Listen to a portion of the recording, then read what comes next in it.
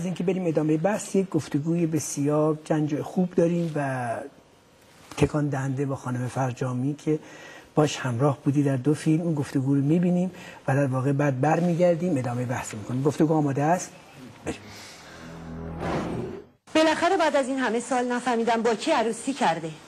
با من یا با رنگ و قلمو اون که هر کاری می‌کنه به خاطر خوبی شماست. بهتره به خاطر خوبی خودش هم که شده دواهای قلبشو بخوره. می‌دونم این مدت چشم منو دور دیده و حسابی ناپرهیزی کرده. برعکس پرهیزش سر جاشه. زیر نظر خدمتکار مخصوص. خدمتکار مخصوص؟ سلام. حالت خوبه برفر؟ حال من عالی آقای جیرانی خوب خوب؟ خوبه خوبه خانم فرجامی تئاتری که روبروی بازداشت صفویه. بله. یادتون میاد؟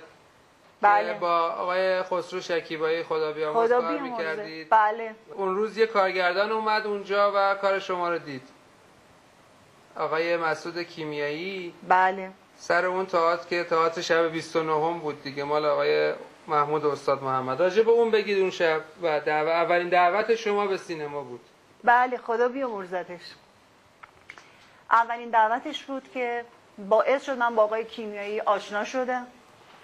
و باعث همکاری من شد با آقای کیمیایی و اولین کار من با ایشون دو تا بازیگر تو اون نمایش بودن یکی خانم فرجامی بود و یکی هم خسرو شکیبایی و دیدم اصلا حیفه که این. یعنی من فیلم نسازم و خانم فرجامی فرجامی و آقای شکیبایی هم کار نکنن تئاتر روبروی چیز بود روبروی تلویزیون بود.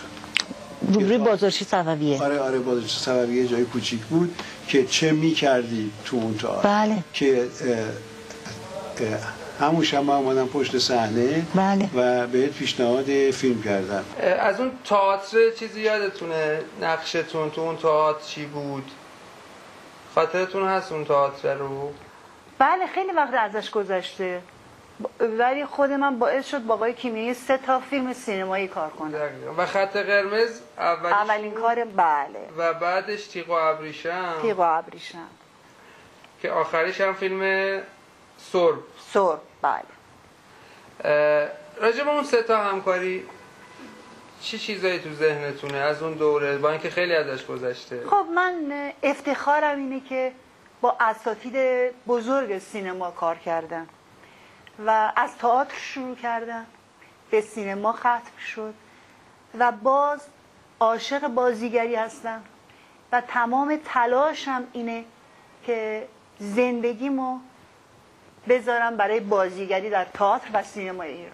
شما برای فیلم پرده آخر جایزه گرفتید. بله من از واروژ کریم مسیحی خیلی یاد گرفتم. برای اینکه اولین کارگردانیه که اصلا ریتمو می‌شناسه.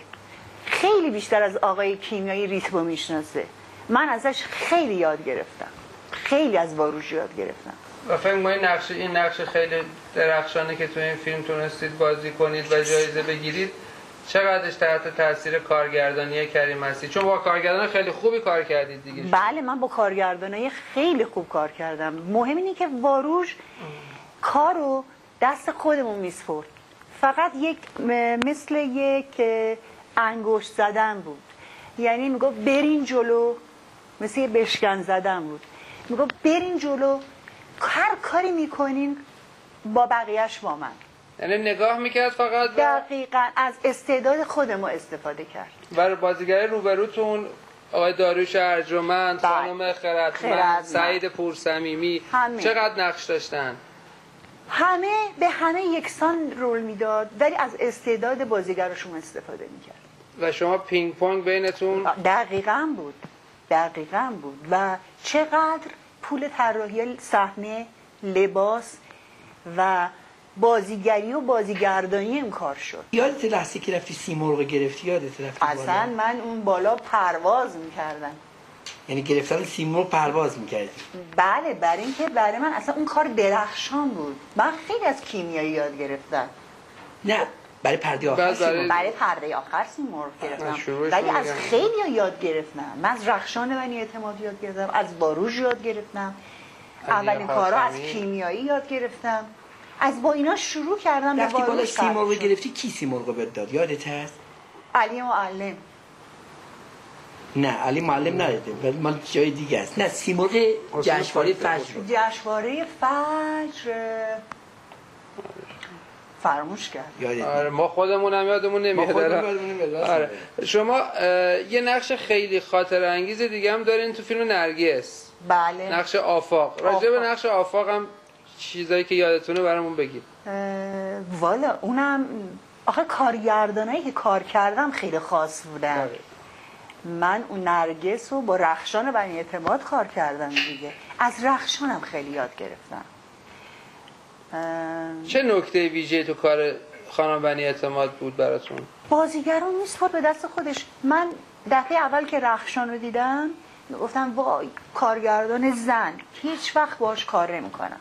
چون میترسیدم بگه این کارو نکن اون کارو نکن. ولی اولین خانومی بود که منو به دست خودم سپرد. گفت برو تو صحنه ببینم چی هستی و چی کار می‌کنی. رفتم تو خونهشون خب شوهرشون یا آقای خیلی معروف چیز. هستن آقای کوسری اونجا نشستیم با هم گپ زدیم آشنا شدیم. بعد دخترش هم الان بازیگره. گفت برو اونجا ببینم چی کار می‌کنی. رفتم و دیدم چقدر استاد این زن. خیلی یاد گرفتم. از همهشون من از همه این آدمایی که کار کردم یاد گرفتم. و واروش خیلی یاد گرفتم. برای همین هم این جایزه است. حالا آقای علی حاتمی خدا بیامرز هم یه فیلم خوب با شما داره. بله. و همراه اکبر عبدی. بله. آره. یادت اکبر عبدی جایزه جشنواره گرفت؟ بودی تو سالن؟ اون لحظه بله بودم. بودی که اکبر برای مادر جایزه گرفت؟ بله. و من اتفاقا چند روز پیش تلفنی باهاش صحبت کردم. گفت باید بیای باز با هم کار کنیم. گفت فیلم دارم. با هم کار گفت کارگردان شدم. آره اکبر دیگه داره کارگردانی و می‌کنه شما اه، کماکان دوست دارید که بازی کنید و اشتیاق سینما هنوز هست؟ بله البته با آدمای خاص. آها. کم بازی می‌کنم ولی خوب بازی بکنم. اون برام خیلی مهمتره. و اگر که خودتون بین نقشایی که بازی کردین توی این سالا انتخاب خاص دارید. چون الان شما عکس پرده آخر رو تو خونتون رو دیوار بله زدید. خب اینو آوردن برام. آها. خودتون انتخابتون کدومه؟ نرگس پرده آخر و فیلم های آقای کیمیایی. یعنی و کار واروش. همون پرده پرده آخر آخر، آره. و یعنی اگر که شما بخواید سه تا فیلمی که بین کارهای خودتون و خودتون انتخاب کنید این سه تا فیلم رو انتخاب این می‌کنید سیمرغ بلورین برات خیلی مهم بود وقتی گرفتی دیگه سیمرغ بلورین جشنواره گفتی؟ آخه می‌دونستم که می‌گیرن چون می‌گفتن اون موقع. مثلا می‌گفتن حجابتون رو رعایت کنین. من یادم آقای کی بود؟ گفت خانم فرجانی باید بیای بالا. می‌گفتم بابا ولمون کنین. حالا چقدر اصرار دارین؟ من که به من جایزه رو نمیدن. ولی دست که زدن رفتم بالا پروبال رو در آوردن همین سیمرغ کنارته؟ بله بله. برش دار سیمرغو بله. نه این همین کنارته برد سیمرغ اینو برداریم به یاد اون موقع. یاد اون موقع برش دار سیمرغ یادت اون موقع رفتی بالا. اینو آره. نگاه می‌کنین چه چی یادتون میاد؟ چه احساسی؟ والا الان اینقدر این احساسات در من کشته شده. ولی میگم فقط دوباره تنها چیزی که خوشحالم کرد تلفن اکبر عبدی بود که چند روز پیش می‌گفت دوباره با هم کار می‌کنیم. می‌گفت من اینقدر دلم تنگ شده برای تو برای اینکه من آدم رفیق قدیمی رو و آدمای قدیمی رو هیچ وقت فراموش نمی‌کنم فریما جون. که گفتم مثلا اکبر تو کجا بودی؟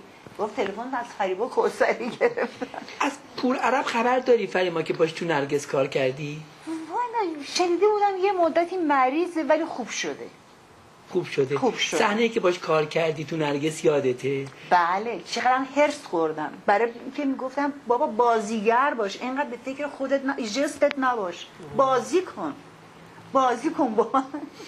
شما جز کسانی که اصلا به فکر جست نبودید. یعنی نه، توی بازی فیلم برام مهم. سرب اولین کسی بودید که کلمو موهاتون رو تیر تر... انداختم بعد امین تاریخ یادته؟ امین تاریخ یادته باش کار کردی؟ چقدر دست اونم هرس خوردم. چرا؟ آخه امینم خیلی چیز بود. آدم رو فراموش می‌کرد تو بازی. یعنی چجوری فراموش می‌کرد؟ یعنی اینقدر به فکر خودش بود که جلوی دوربین باشه جستش باشه فرمش باشه. به فکر ریختش تیپش باشه. امین آدم فراموش. حالا کلاسای بازیگریش خیلی جا افتاده. ولی هرس می‌داد امین آدم خانم اون سال که پرده آخر این همه جایزه پشت سر هم گرفت. نه تا جایزه اون جشنواره.